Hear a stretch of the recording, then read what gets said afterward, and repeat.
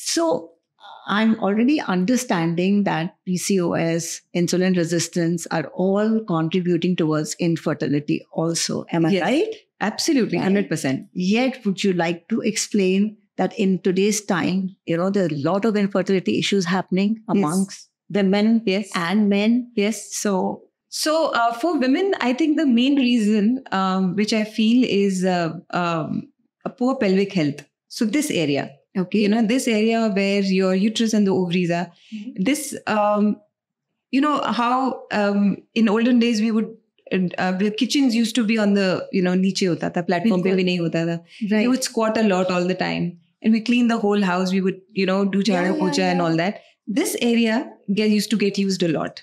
Okay. Nowadays, if you look at a sedentary job where you're just sitting and laptop, Mm. this portion of, of your body is not getting used. You, this needs a lot of circulation, blood circulation in this in this area.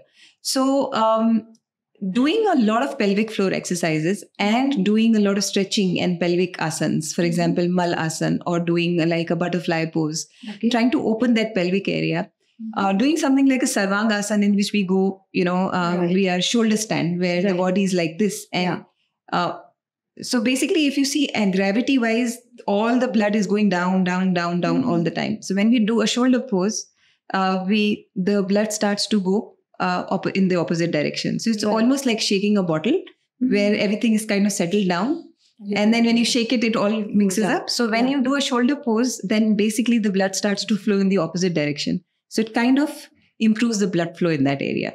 So pelvic health is very important for that. And for that, uh, doing uh, pelvic asanas, doing squats, um, doing um, maybe a lot of leg leg exercises, Hmm. um, sitting down, malasan, getting up again and again, doing like uh, Yeah. दंड बैठक जिसको बोलते हैं Right. Squirting ऊपर नीचे करना वो बहुत that is very helpful shoulder poses um, in in sarvangasana is very very helpful Mm. um, and then that because that pelvic health is deteriorating because it's not moving that much Right. so you have to take care of that so once you start moving that area that can really help Okay. um, because why would you have a cyst ovarian cyst or fibroids or growth over there it's because it's just static it's just accumulating things and they're sitting there and the movement is not happening Mm. so exercising and movement, movement in that area can really help in reducing those infertility issues that are that are happening. Other than that, basically nutrient deficiency is, is another big one because of which infertility is on the rise. Um, uh, then the other thing would be again like we covered sleep. Sleep can be a thing, and then the fourth thing is stress. Stress is a huge one as well.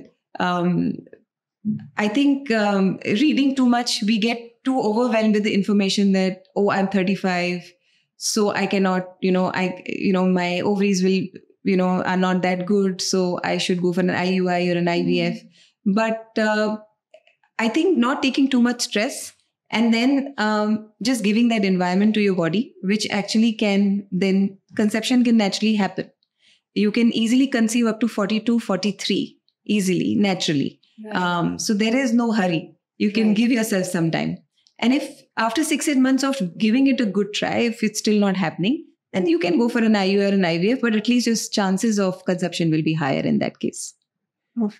Yeah, but infertility obviously is right. Uh, PC, it starts with insulin resistance. It starts with sedentary lifestyle, and I think it's also because uh, you know uh, generally um, we eating we- is it food is very readily available, right? So we're eating way too many times during the day, like too much of food consumption, right? Calorie True. intake is very high, so you put on a lot of weight, and that can slow things down. So if you are overweight by 2 3 kgs 4 kgs then try to you know bring it down because that will make you come to an optimum weight which can help you conceive as well because now jitna weight badega utna body ka burden badega it has to do Right. that much extra work to take care of the bigger body right Because so then everything slows down and fertility is actually the last uh, हमारा survival के लिए तो जरूरी नहीं है ना बिल्कुल आपको पहले लंग्स की प्रोटेक्शन करनी है किडनी की that oh. should run well you know? Right. The body is like okay jab ye sab theek ho jayega then i'll think about fertility. Because yeah. you know so fertility is last on the agenda of a body.